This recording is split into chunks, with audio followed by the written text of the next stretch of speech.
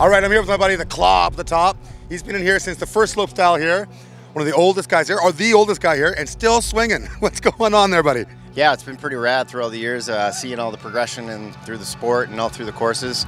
And man, it's uh, it's pretty gratifying to be here. Even though I haven't been able to ride every event, I've been at every event, and you know I've had my fair shares of ups and downs, and I've, I've been close a couple times. I've had a couple seconds, a couple thirds, and um, here I am, hanging with the boys, trying to give her another go.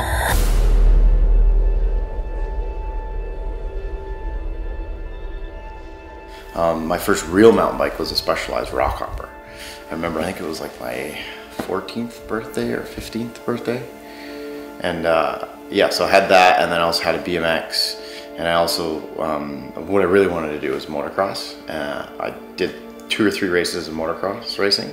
And on the third race, I snapped my frame. And while I was saving up to get a new one, um, I took my BMX into the shop and the shop owner in Nanaimo was like, hey, you should come out and race BMX. And I did, and then I kind of fell away from the, the motocross dream and went and did BMX racing for years and years. But along the way, I also dibbled and dabbled into mountain biking whenever I could afford to get a bike, and then I'd end up breaking it. The racing thing, you know, as usual, any BMX racer, you get bored and start doing dirt jumps and making your own stuff. And started learning tricks and one thing led to another. Did the BMX uh, dirt jump thing, started getting uh, pretty good at that, traveled around America uh, a little bit for that. And then the following year, I got accepted into uh, school, tool and die technician. And then I was just kind of, you know, in school and just doing the normal thing. And while I was doing that, my brother had gotten into mountain biking and I was sitting around and it was pouring rain, typical Vancouver day, and he was always going out riding. I was like, man, I want to ride too. This sucks, you know. I'm freaking.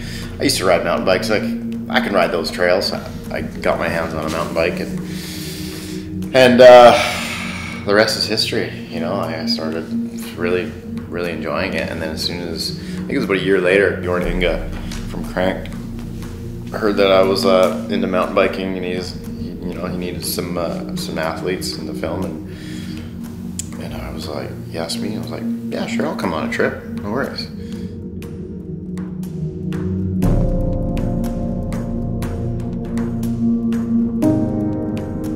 You know, trail building for me is is not only therapeutic, but at the same time, it's it's awesome to have trails to ride because I've always grown up in a small town and I've always had to build whatever I want to write. I've never had the opportunity to wake up in, say, a town like Whistler and just go, oh, I'm just going to write. That's never been a possibility to me. It's always been, if I want it, I have to make it happen myself. And that's probably why I've been a little bit more successful in my uh, career than others, just because they've, they've had it given to them. So they don't understand that you've got to actually make things happen.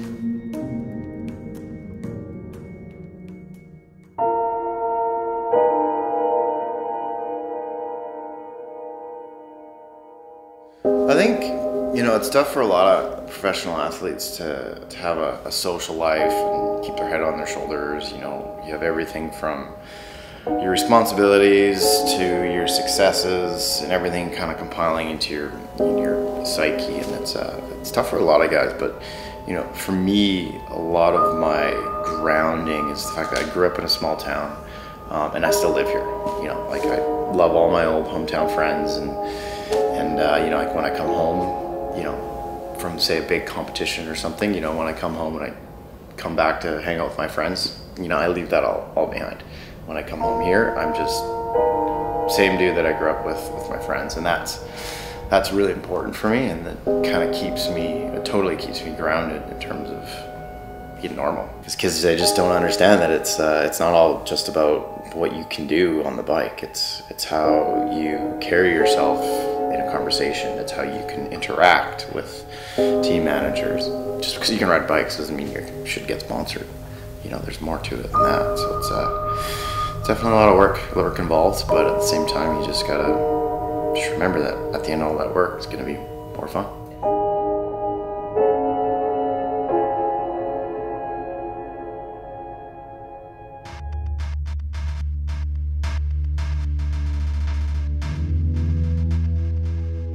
Biggest things missing in my life would be people that do exactly what I do.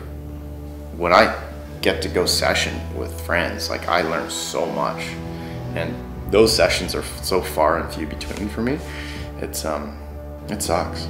You know, like I have tons of people to push me for downhill stuff, but uh, in terms of like slope stuff and stuff I want to build and like push myself on, you know, like the guys that I ride with, they're like, I don't want to do that.